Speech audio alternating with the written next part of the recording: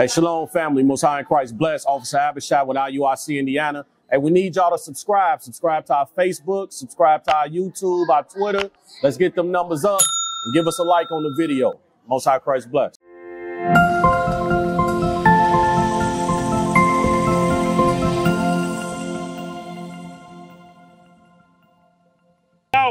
A man taught you all of these things. So the question is, how do we love God? How? What can I do to prove that I love God?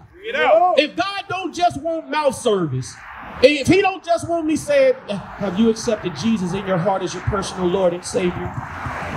Now, what as, as a man, without having to be effeminate and crying and soft and sensitive, how can I still be a man and still show I love God? Bring it out. Here's how. Watch this. Wake him the up. book of First John, chapter 5 and verse 3. Bring it out. this is the love of God. Listen good. Here is how you show you love God. It's only one way. Ain't no sugarcoating it, ain't no getting around it. It don't matter how many Kirk Franklin songs you know by heart, how many Anthony Hamilton albums you done bought, how many tithes and offerings you done gave to these slimy pastors that steal our people money. Bring it out. None of that matter. This that we about to read right now is how you love God. Bring it out. Watch this. That we keep his commandments. Listen, if I have a woman and I beat her but tell her I love her, I clearly don't love her. If you say you love God and not willing to do what God telling you to do, you don't love God. Bring it out. Now that should be scary to a lot of people. And I'll tell you why. Today is the Lord's Sabbath day. One of God's commandments is that you should not buy and sell on the Sabbath day. Teach. It's a day of rest. Bring it You out. ain't supposed to be out here shopping. You Bring ain't supposed out. to be out here doing your own thing. How many people really love God? How many people pulled up to this plaza right now and just heard that commandment and said, "Wow, I was about to buy something today. I didn't know that." Let me make let me make it plain. Give me Nehemiah, because I don't want you to think I just made that up. The Bible says we love God if we keep His commandments. That's what the Bible said, right? Let's read what the commandments is. Nehemiah chapter 10 and verse 31.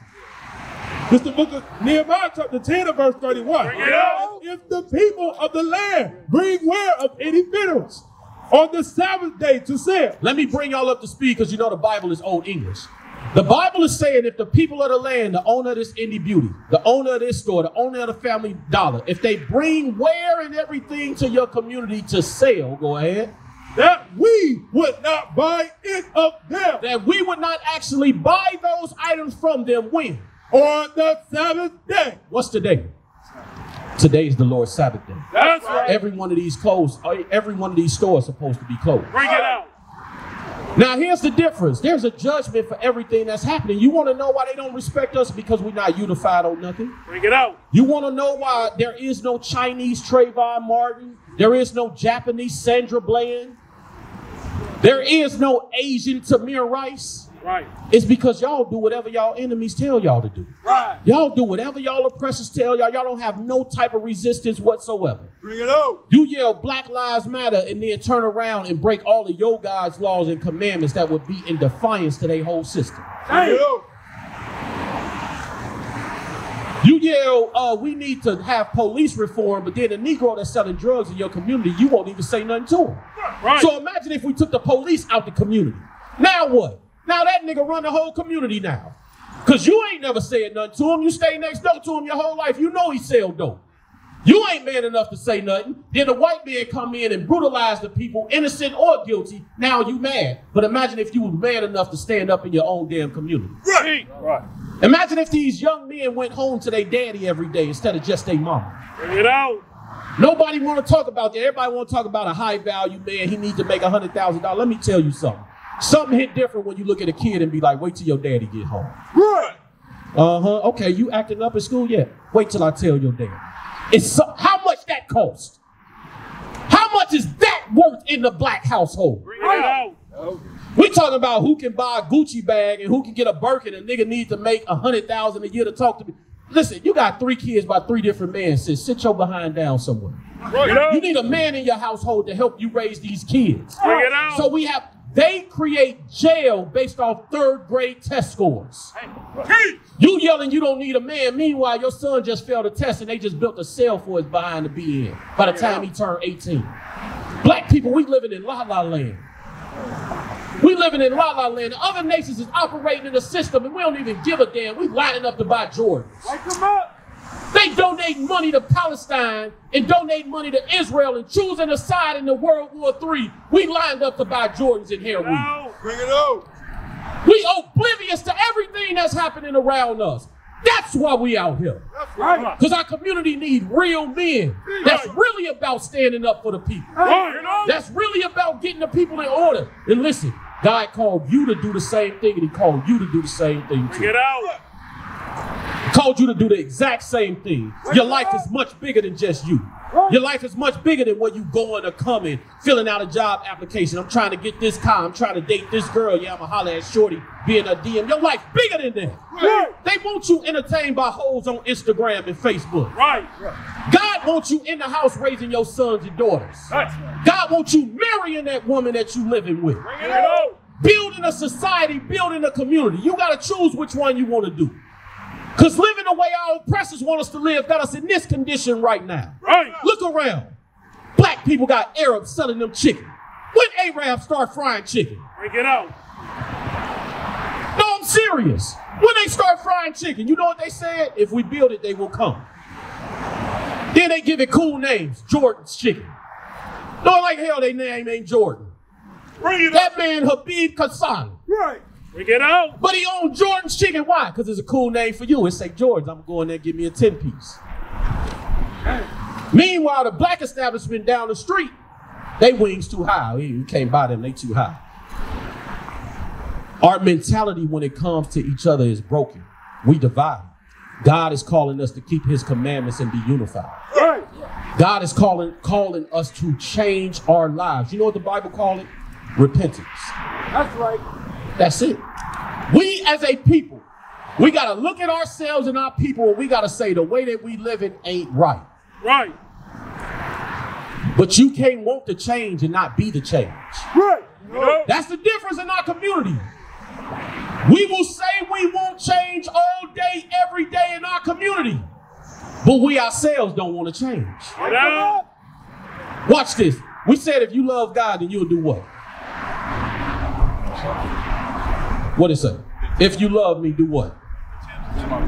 Keep my commandments. Right. Bro, I knew you was a smart brother. Come on, man. I knew you was smart, bro. He said, if you love me, keep my commandments. Deuteronomy chapter 22 and verse 5. Bring it. The Bible says, if you love me, do what I say and do not your oppressors. What you're gonna learn is by you not following your culture, you in all type of sin, you don't even know it. How many people you know that knew that they could not buy a sale according to God on a Saturday? Let's just be real. Most of our people don't even know that. Here's another one our people don't know. Watch this. Deuteronomy 22 and 5. This is the book of Deuteronomy, chapter 22 and verse 5. Y'all brothers better pay attention because they put men in skirts left and right. And I know you might think, oh yeah, I'm, I'm from the old school. I ain't gonna never do that. That's cool. Your son will. they might not get you Right. because you hard by. I mean, you grew up in the 80s. You know what I'm saying? In the 90s. 4X t-shirts. You get what I'm saying? You ain't never gonna put on a skirt. But your son will. Because all he gonna know is men wearing skirts and dresses. It out. Just like our sisters wear pants today, because all they know is women wearing pants. But they don't know God said this. Watch this. The woman shall not wear that which pertaineth unto a man. God said a woman can't wear what pertains to men. Right. Remember, if you love me, do what? Keep my commandments. Right. This ain't us.